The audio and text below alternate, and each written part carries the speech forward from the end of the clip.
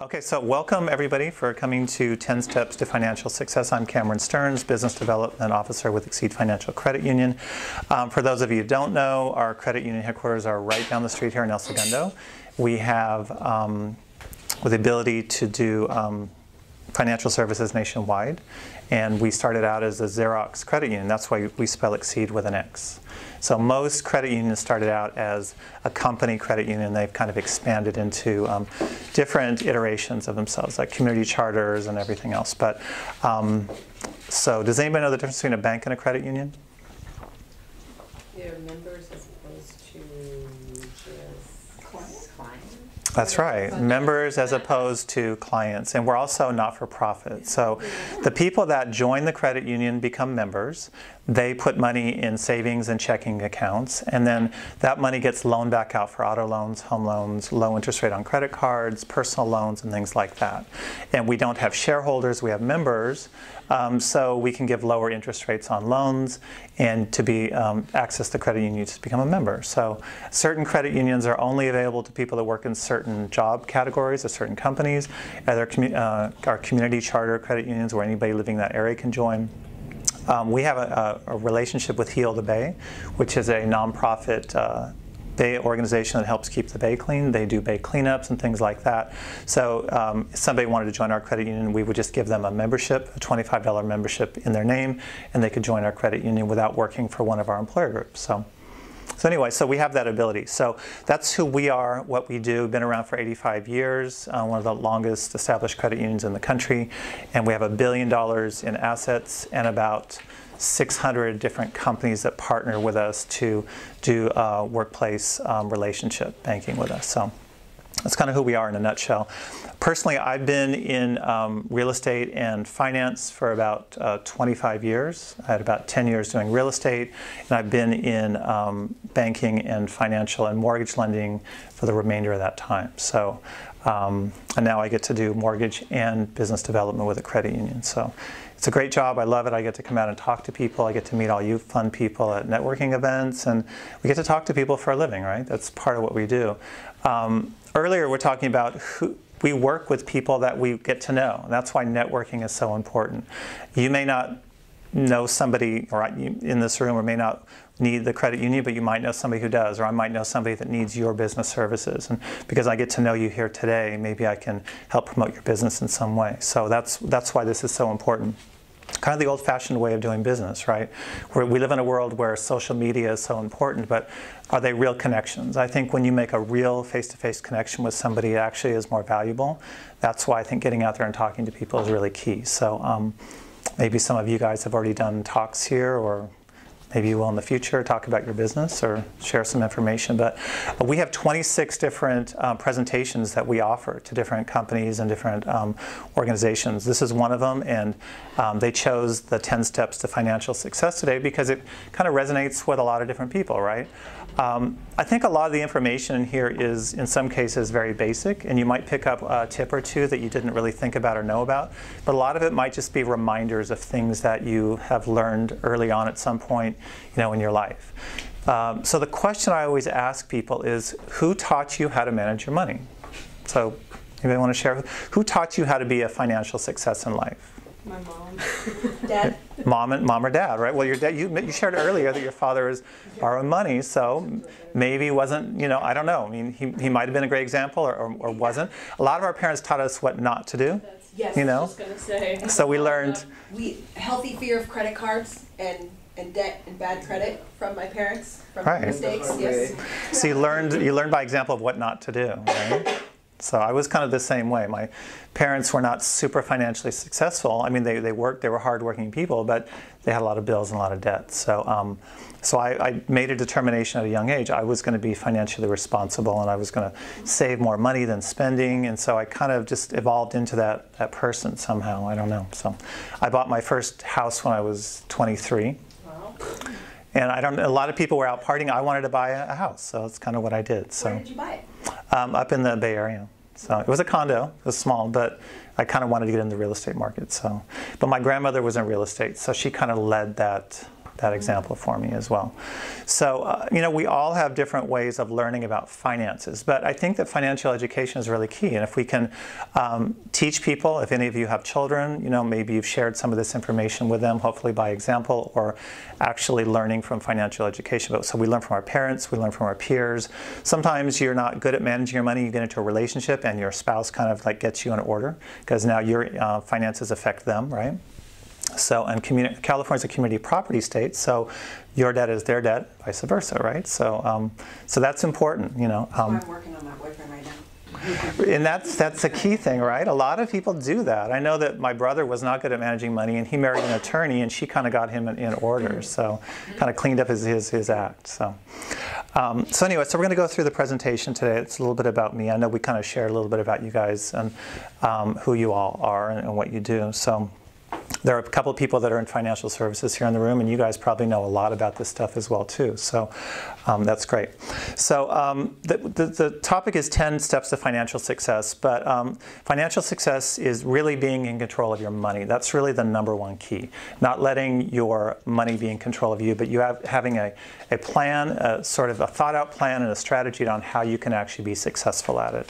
So um, your money does really i mean think about all the people who've made a lot of money but spent a lot of money. We hear about celebrities in the news who made $100 million but now they're bankrupt right? So so something is kind of wrong in that equation. You could make $100 million and still be broke right? So it's not really about how much money you make it's how you manage your money and how good you are at kind of saving and financially planning for that. So um, you know, maybe there's somebody in this room that made $100 million last year. I don't know.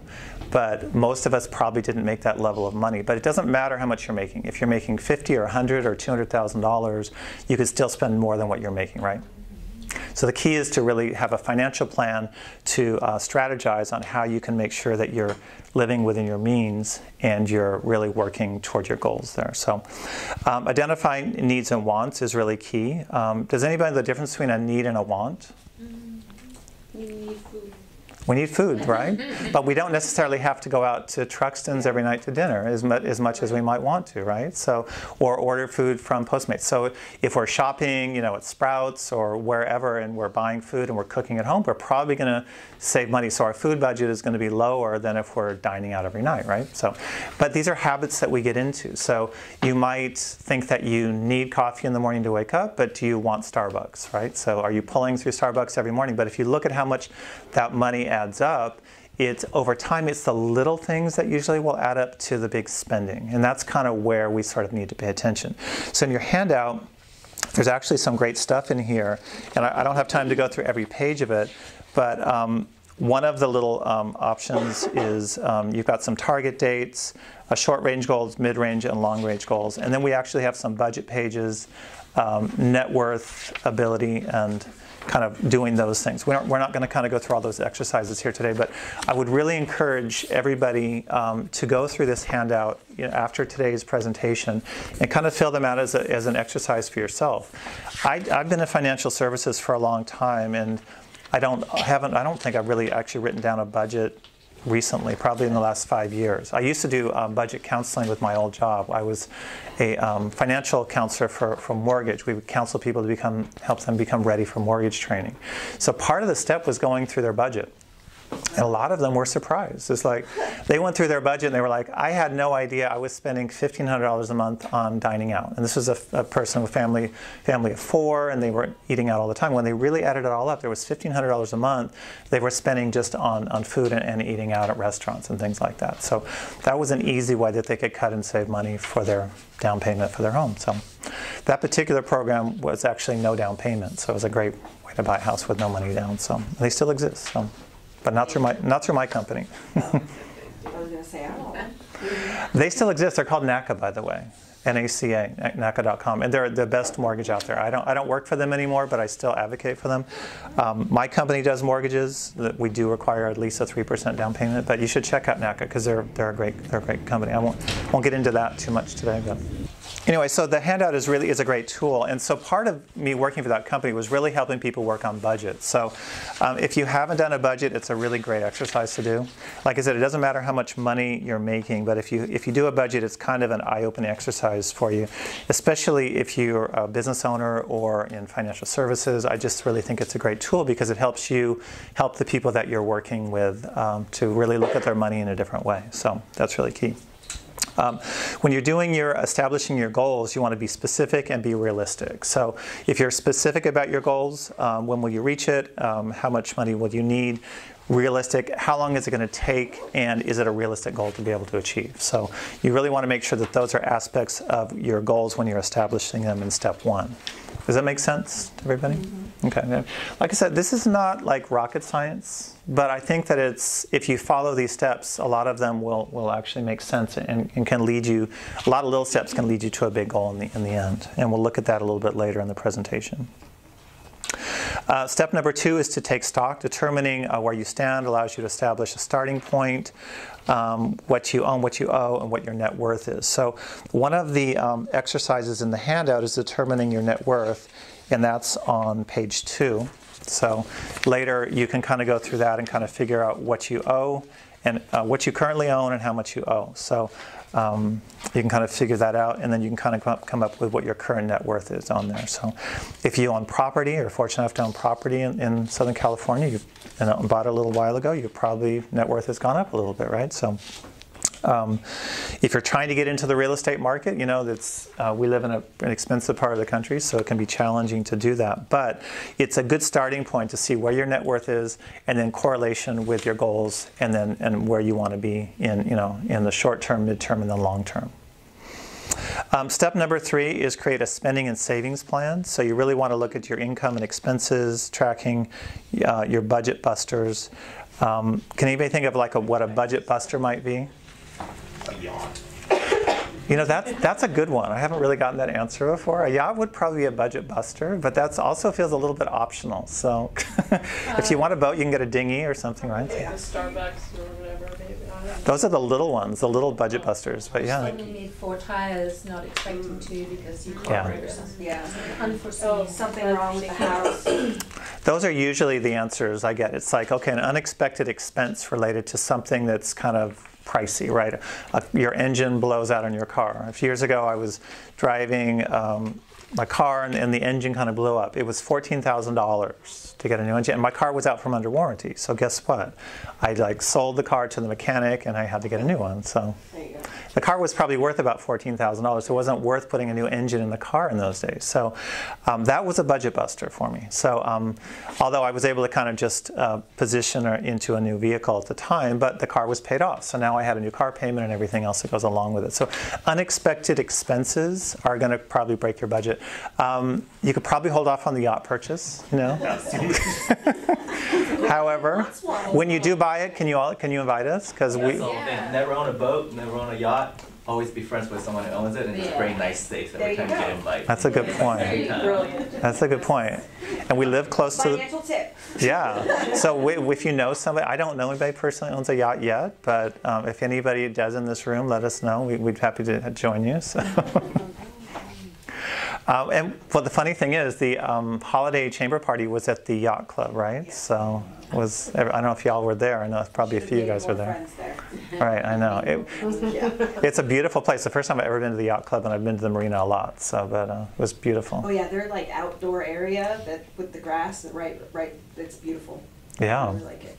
Very nice, beautiful boats there. So, something to aspire to for sure. Um, so, you definitely want to make sure you've, you've created a spending and savings plan as part of your overall goal. Um, step number four: live within your means. So, this is a, another kind of a big one that I think a lot of us um, are get kind of in the habit of kind of living beyond our means. So, so what does that mean? It seems pretty basic, right? What does it mean to live beyond your means? Live beyond them or within Be, them? beyond your means, Find a yard, more money than you Spending more have. than me. right?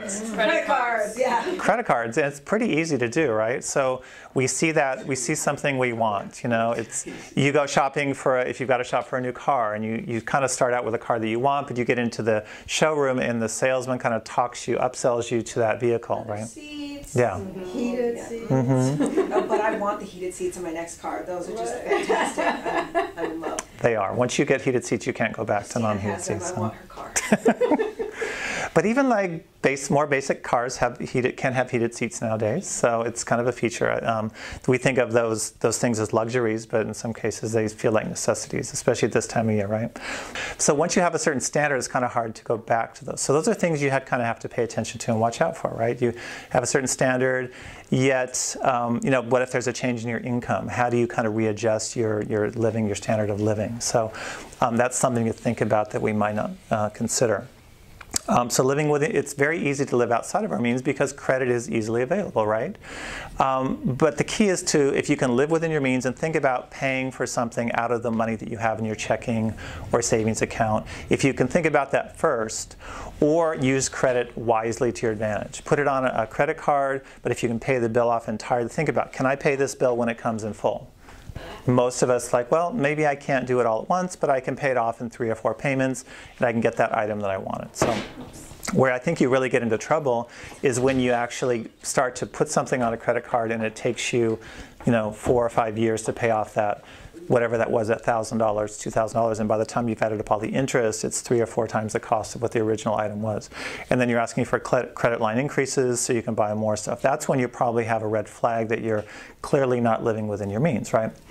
If you are a small business owner that's another challenge, right? Because now you've got a lot of expenses that pop up with the idea that down the road you're going to be making more income. So you're investing in yourself based on credit, right? So I was, uh, being in real estate, I was a small business owner, you know, working for myself. So I kind of know the challenges that come along with that as well. So my debt did go up during that time, but I was able to recoup it when I actually my, my career kind of moved forward and I was able to, to make more sales. So I was able to kind of get caught up on that debt. So different set of challenges for people that are small business owners, you know, as well, especially if you have a newer business and you're in, continuing to invest in that business. So sometimes it takes a while to get a return on that investment. So those are things to, to pay attention to. So, um, so make sure you prioritize your spending, reduce, you substitute, postpone, or forego. And those are things that we're not used to doing in the world that we live in, right? We are a society where we want to um, sort of meet our, our needs right now. Instant gratification, right? Has anybody heard that term? Yes. And the younger people that I know seem to be more prone to that. I don't know. I'm not, I'm not, you know, saying anything bad about young people. It's just that I think that younger people, you know, have grown up in a world where, you know, everything is instant. You know, I grew up in a world where we didn't have cell phones or internet when I was younger, all that stuff that's at our fingertips now. We had to go to the library. We actually had to go buy things and things. So, I do have to leave, but I wanted to mention, like, I think the housing part, I've seen this chart a thousand times, but Mhm. for LA as, and as well as the Bay, I think it's antiquated, like. You're like, right. It does not exist. to Housing is 85. I was gonna Right. say, like, yeah, this doesn't fit my numbers either. people. I think this is, like you said, ideal or something to shoot for. And these numbers are going to bear out um, in different parts of the country. We have offices in upstate New York and Rochester. I used to do travel back there a lot. You can still buy a house for under $100,000 back there. So there are people. 20 somethings that are buying homes that are making $15 an hour that are buying homes you know? So the american dream works back there in a way that it doesn't work out here. Right. now they're buried under three feet of snow and they're wishing they lived out here at this time of year but they all, they're homeowners so there's a trade-off you know? Mm-hmm. So there's a trade-off for what for where we live what we do. We're paying a, a price for living in southern california. I personally love living here and there's a high price. Where, where i'm concerned i think most about is affordable housing for our younger people. Absolutely. you know the ones that are trying to get a start that maybe have to move to other parts of the country or live in a, a studio and share it with two other people or something. So their quality of life is not really where they want it to be. But so there's some sort of a calculated trade-off there you know so uh, step five is pay yourself first. Um, really, that's something that we don't often do. But when you're talking about really putting your money aside before you spend it, um, that's really the key. So they, the, the recommended amount is to save 10% of your income, um, and then again weigh your instant gratification against your ultimate long-term goal or gratification. So, so what are we weighing? You know, we talked earlier about you know a lot of younger people. There's no impulse control on that instant gratification. Let's just spend it now. But I think that I don't know if that's just a function of uh, the younger generation or just being younger in general. I don't know. I think we tend to get more financially responsible as we get older, right? There are certain things that come into play in our lives. If if you get into a relationship or if you have children, that's theoretically going to make you more financially responsible because you have to provide for the needs of the kids, right? You know, housing and food and clothing and all those things are just going to be there. So um, it's just it's significantly easier to spend our money. Companies are really good at making it easier for us to spend our money. So um, so there's a convenience factor that's great, but you have to balance that with your long-term goals. And I think if you're in, if you're thinking um, strategically about those things, then it will help you. So um, we talked about a savings plan. They're short-term, uh, mid-term, and then long-term. Um, you know, for you know, you're really talking about your, your liquid account. You know, for your short term, that would be your savings account uh, or your checking account that you're utilizing. Um, inter, uh, immediate needs, emergency savings. We talked earlier about if you have a car expense or something like that. Um, midterm, you know, semi-liquid, two to five years, you could put that into maybe a money market or something like that. And then you have your long-term invested for five or more years, retirement and education. Um, you should always be thinking in terms of, you know, your long-term strategy of retirement. If you don't have a financial planner, you should really talk to one because that will help you strategize in the in the long term as well. So that, that's really key. One thing that I we tend to recommend, or I recommend, um, is you have a banking relationship with your access to your money. But if you don't sort of trust yourself or you want to have a savings account, it makes sense to have an additional savings account where you just have money automatically moved over there. You can set up automatic transfers within your accounts usually, or even between banks these days. It's relatively easy to do. Um, you know, but that's money that goes into account that you don't really access, see, or touch. You know, it's just kind of every month a certain amount of money goes over there. I don't care if it's ten dollars or hundred dollars or whatever that is, but if the money kind of goes over there unseen, you kind of just don't access it, right? If it's earning interest, obviously that's better because you, you want an interest-bearing account. You know, if it's a if it's a safe investment like a savings account, you're probably not going to get a lot, maybe two and a half or three percent interest. Um, credit unions tend to have better interest on savings accounts. Um, one strategy might be to have a, an account with you know, another bank or a credit union where you just kind of put a portion of that, that, that money into there on a regular basis. Look for an account that doesn't have any fees associated with it because you don't want to be hit for fees if your balance is too low. So that would be a strategy as well. And um, Xceed happens to have that, my little pitch for Xceed Financial. So we have free checking accounts, uh, great interest rates on savings accounts, and all that good stuff that goes along with it. Well, the short term, at least 10% of, of your. In each category? Well, in, in yeah, I mean, at least 10% in the short term. I, it's going to depend on what your individual financial situation is. Generally speaking, I mean, I know people who are putting 25% of their income away. I know people that have just gotten out of college and they're really interested in putting money aside. They're making over $100,000 and they don't have a lot of expenses, right? So there are a lot of, I, I do talks down in Playa Vista. There are a lot of young people that are making a lot of money these days, which is one reason our housing prices have gone up so much, right? They can't be uh, they can't be renting apartments over here for for two thousand dollars a month if nobody can afford them. So, so they can only price things based on you know, who's buying them. Homes, a lot of homes in Westchester are selling for over a million dollars. Well, they wouldn't be pricing them at a million dollars if they weren't selling, right? So the market determines the cost. So some people, somebody can afford those apartments. Some people can afford those homes. Um, that's just the reality of the market. The market sets the price. So, so in certain cases, some people can afford to put 25% of their income away. Some people can only afford 10, or some people can afford 5 or 1%. But I would say recommended is 10% overall. And you financial advisors might have a different take on that in the room, but um, I don't know. Ten percent based on gross or net? Gross, if you can. Okay. That's kind of a, a, a rule of sometimes, you thumb. know, you get taxes already taken out, so Yeah, that would be your net your net income. so it's ten percent of gross.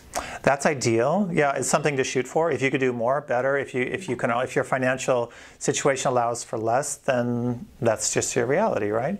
Um, the other thing is, it's like we also look at, and we're going to talk a little bit about bad and good debt. So if you have a um, a mortgage payment that's pretty substantial and you're above that ideal 35%, but you're putting a lot of money towards your mortgage, but you know that that investment on that house is going up in general over the long term, then think about that as okay, well, you're building equity in the house. Maybe you're not putting 10% aside for your savings account or your investments, but you're building equity somewhere. So you got to look at your overall strategy. Where's your money going? Looking at your overall net worth and kind of getting a, a overall high view picture of where your finances are is really key. Um, if you are a business owner, then again, you're probably reinvesting or rolling some of your profits back into your business. And I don't know what the rule of thumb for that is. If it's maybe it's 20%. Any, any small small business owners, what do you what, what's the rule of thumb for reinvesting in your business? Is it 10, 20 percent? Does it whatever you can? Point, I have everything. no idea, yeah, I have no idea a lot of it. When I was when I was doing we I did a lot of I went to a lot of classes and I think they said if you can put 20 percent of your monthly gross income back into your business, you were doing well as a small business owner. That seemed like a pretty good goal to have. I, I achieved it in certain quarters, and other quarters I wasn't able to. But as a small business owner, you have a lot of expenses. You have advertising, you've got you know maybe um, rental space or lease space or all kinds of costs, just you know licensing, everything that goes along with running a small business, right?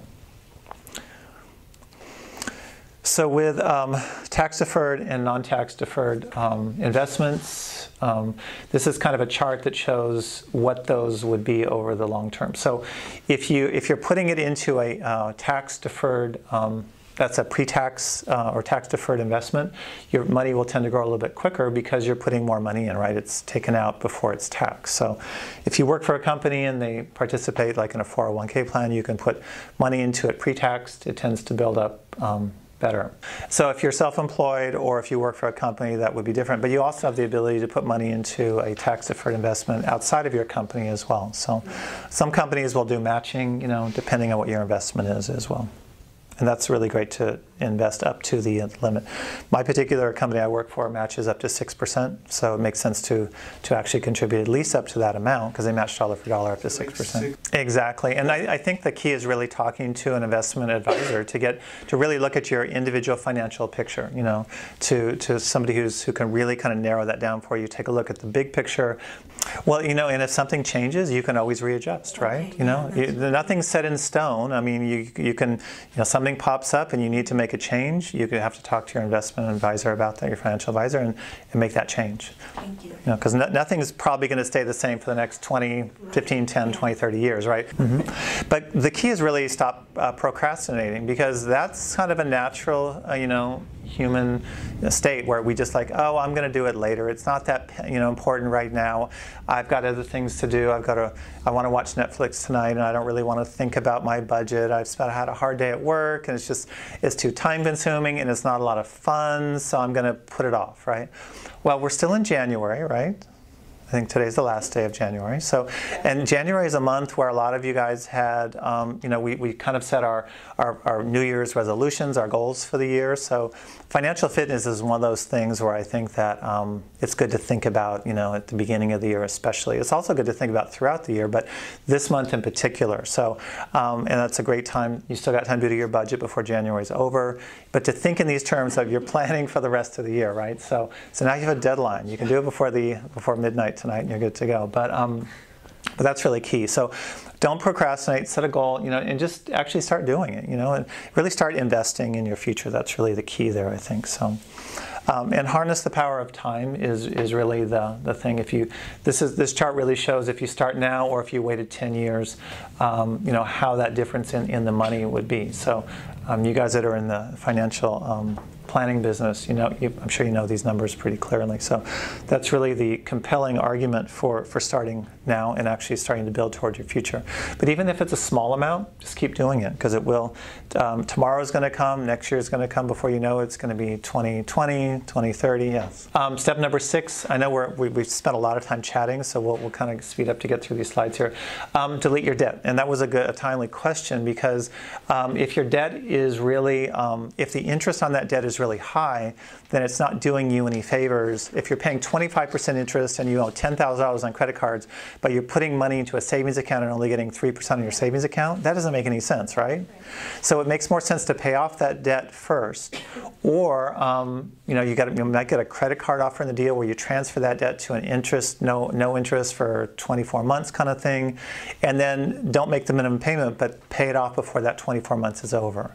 Um, I just did that recently, so I was able to kind of transfer the money that I owed on that credit card. Now I've got two months of interest free, but I'm actually kicking in extra money rather than just the minimum payment because I want to pay off that debt before the uh, the period's over. But the key is don't just ignore how much interest these credit card companies are charging you, you know, because it's costing you money. And they like that part of it because if it's an automatic system, they're going to get all that extra money from you. And guess what? They make billions of dollars doing it every day. Um, so if you can live cash only, that's great. Reduce your interest, increase the payments, aggressively pay down your most expensive debts or refinance them or move them over to an interest-free um, type of loan if you can. we talked earlier a bit about uh, good debt and bad debt. Um, okay debt is really increases in value. So if you're borrowing money to purchase a home, generally speaking, homes go up in value over the long term. If you're investing money in your business, if you're a business owner investing money in your business, that's a, a good debt. And then education because you're increasing your earning power over the course of your, your professional life. Bad debt decreases in value. It would be spending money on clothes, meals, vacations, those types of things. Ideally, you're going to be spending cash for as opposed or you can you put it on a credit card but pay off that credit card bill when it comes. So you can use credit to your advantage. Uh, speaking of credit does anybody have any app like credit karma or something like that?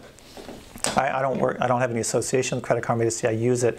And i've been able to increase my score by 100 points in the last two years just by using the tips on their little on their app and I'm in finance, so I didn't like no one taught me these things about how to improve my credit score. So, uh, but I learned it from Credit Karma. It's like little things here and there that make a big difference. I caught an old. Um, like a 30-day late payment on my mortgage, like five, six years ago. Caught it on there. I disputed it in the app. It was removed, and my score went up.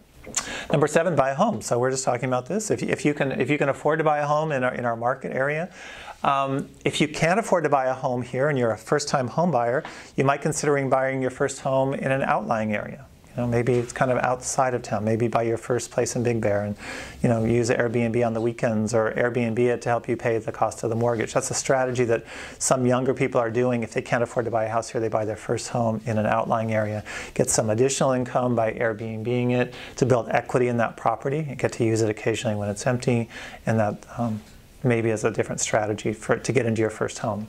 Because we've got to be creative, right? We live in a, such an expensive part of, of town, you know, to get into, um, we live, we're here in Westchester, to buy a house over here, it's going to cost you over at least $600,000. If you're trying to buy a condo or house, in certain areas it's going to be over a million, right? So um, Inglewood used to be affordable, very close by. And guess, have, have you heard about the new stadium they're building over there? We just did an update on that this morning. Oh yeah, Super Bowl champions. That whole thing happening this weekend. Um, but so even so, Inglewood is not affordable. The west side of LA is not affordable. So people are having to go further and further east. But so the strategy is to buy a maybe a house in an outlying area and build equity that way as well. Um, start saving now, building your credit score. We talked about how to do that with different strategies. Uh, apps like Credit Karma will give you little tips. Um, um, different credit card companies also have you can look at the FICO score and they're probably going to give you tips. Capital One has a little thing called CreditWise on there that if you you can check that it's free. These are all free apps and they usually have little simulate your score kind of things. You can play around with the numbers on there and show what your score might be. Um, but so if you can get above like 750, 760, then you're going to get the best rates on your um, your home loan basically. So but you Step number eight, I know we're running out of time here, so I'm going to move quickly. Um, diversify, weigh your risk against your return. Stocks, bonds, cash, mutual funds are all good things to explore. And then market performance. Um, these are general numbers for market performance from 1926 to 2014. Um, stocks tended to perform the best. We know that that's up and down, right? It's not a straight line. So we just had a, a big correction in the market not too long ago. And if you look at your 401k, it might have gone down, it might have come back up. So depending on, on how that, that those are, are being managed, um, um, it's really the long-term perspective that you really want to take in that as well. Step number nine, you want to get insurance. There's different types of insurance to protect your assets, you know, health, disability, life, liability, auto, renters, homeowners. You really want to make sure, and you shop around for insurance as well to get the best price. And then plan ahead. You want to make sure you do estate planning. Wills, um, it's a good idea to put your house, uh, if you own a home, into a trust because if you don't, it's going to have to go through probate even if you have a will, and then they're going to take a portion of that money out. So, a trust is the best uh, way to actually own your home if you if you do own a house.